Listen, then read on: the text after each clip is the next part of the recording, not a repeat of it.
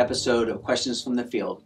Uh, what we've noticed is as we're out there uh, serving buildings, ser- serving clientele, you know, a lot of people are getting arc flash studies done. We'll do a lot of arc flash studies. Other companies do arc flash studies. Uh, we find that a lot of times people don't know what to do after a report has been issued. So today what we're doing is we're sitting here and we want to go over if you've had an arc flash study done, you know, what are components that you really should be aware of in the report that might cause you to do some further action. So I've got Chris and Edson here, part of SI testing, and you know, Chris, you're out there. You do a lot of arc flash studies. Uh, when you finish a study, you go over the report with the customer. Uh, what is what is one typical thing that you like to point out in the report? Uh, it really comes down to coordination. Uh, the arc flash incident energy is a direct result of uh, how quickly a protective device can extinguish that fault. So uh, when we do the study and coordinate uh, those protective devices, it's important that after that's been done that we go in, adjust those settings, and actually test those protective devices at those current settings to validate uh, that it's going to produce that amount of energy at that particular unit. Okay, so it doesn't matter who does the study. So if, if they have a company coming in doing maintenance, one of the questions they should ask if a study's been done is they should grab the yeah, that's one of the report. first things that yeah you should bring up is you know has that been done? Uh, even doing basic servicing, uh, even on an infrared basis. Uh, today's technology, uh, they have a lot of uh, GE in particular has a reduced energy let through product that uh, when somebody's working on a particular circuit, they can actually adjust settings to limit the amount of energy being released if there were to be a fault. And again, things like that need to be tested uh, and implemented uh, if uh, installed in the gear. Okay.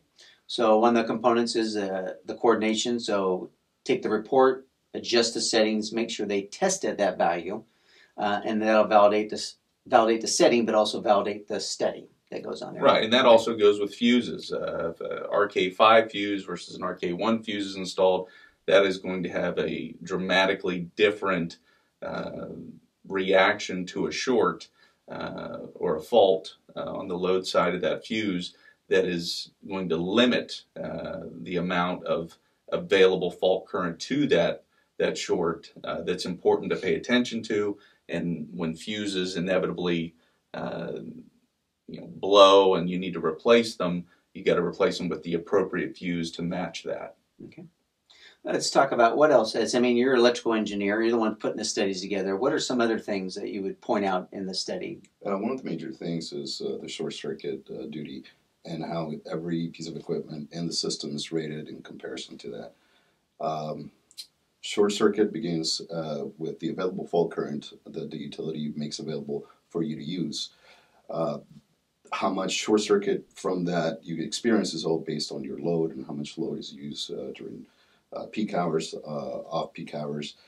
It's always going to be a percentage of that. But um, every piece of equipment has to be capable of handling uh, the maximum that the utility company is going to contribute.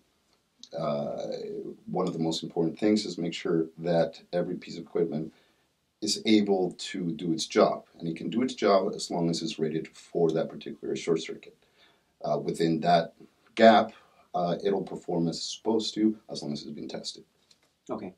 So I know one of the things that we notice a lot of time in the reports, you might have a breaker that's rated for 10 or 14K AIC, but the main feeding it might deliver two, three times that 20,000, 25, 30,000 mm. that's on there. Why is that such a concern? Uh, you know, because it's, it's, we call it the red lettering in yeah. the report. Um, and most people don't even understand what that's about. So why is that important? Uh, well, the manufactured companies for, uh, let's say, panels or uh, protective devices, they actually test different levels of uh, short circuit for that particular equipment. Uh, they decide at what value that equipment still can basically perform as it's supposed to uh, once the, the, design engineer before the facility is, is, built basically has to figure out how much uh, available fault current the utility company is going to make available to the facility, such as a transformer and whatnot.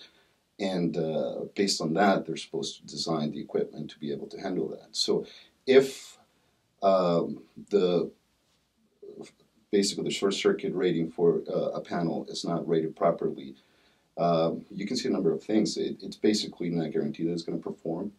Um, it could explode, it could uh, burn out. Uh, there's no guarantee, and that's basically where it comes important. I remember one of the customers, we were going through that report with them and we were explaining to him about the panel. He had 10K rated breakers, and I think it was delivering like 30 or 33K.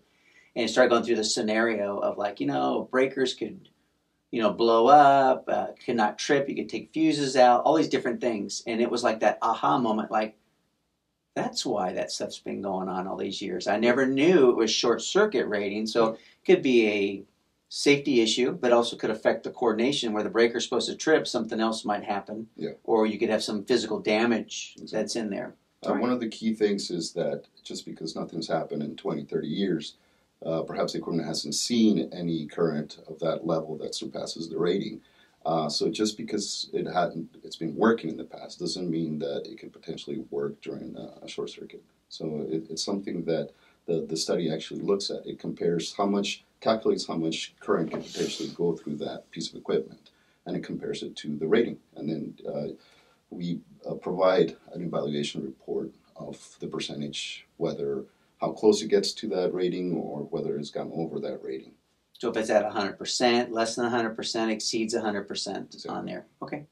Uh, and lastly, um, you know, we talk about, you know, there's all these different components, but something else that customers should be aware about is some things, uh, the arc flash is a very high value. So what are, what are some of the things that we notice about that uh, when we say there, you know, you might have something that's danger, do not open.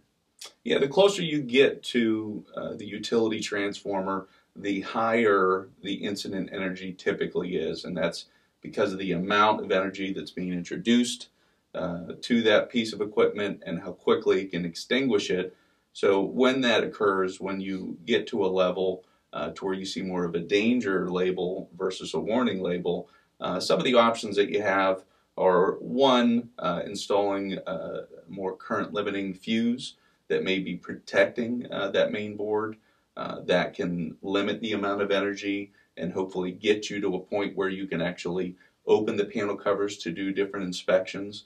Uh, if not, uh, at that point, then you can look at installing uh, infrared windows. Uh, there are special windows that they make that don't that prevent you from opening the the board and allow you to inspect it without really opening it uh, not so much prevention, uh, but with an infrared camera to look for any kind of heat signatures that would be problematic. Okay. All right. So these are typical things that you should be aware of when you get your report. If someone hasn't walked you through it, um, you know, really the three things you want to look at is did anything fail in short circuit? Were any of my uh, settings need to be changed and adjusted?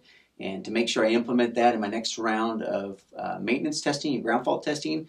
And the third thing is dealing with uh, mitigation. You might have some high values that need to be mitigated or short circuit wise. And we're going to bring that up in our next episode. But if you've had no one walk through you with the report, feel free to reach out to us. We gladly go through it and explain it to you so you understand what issues you need to deal with and what options are you can at least budget for and prepare for in the near future.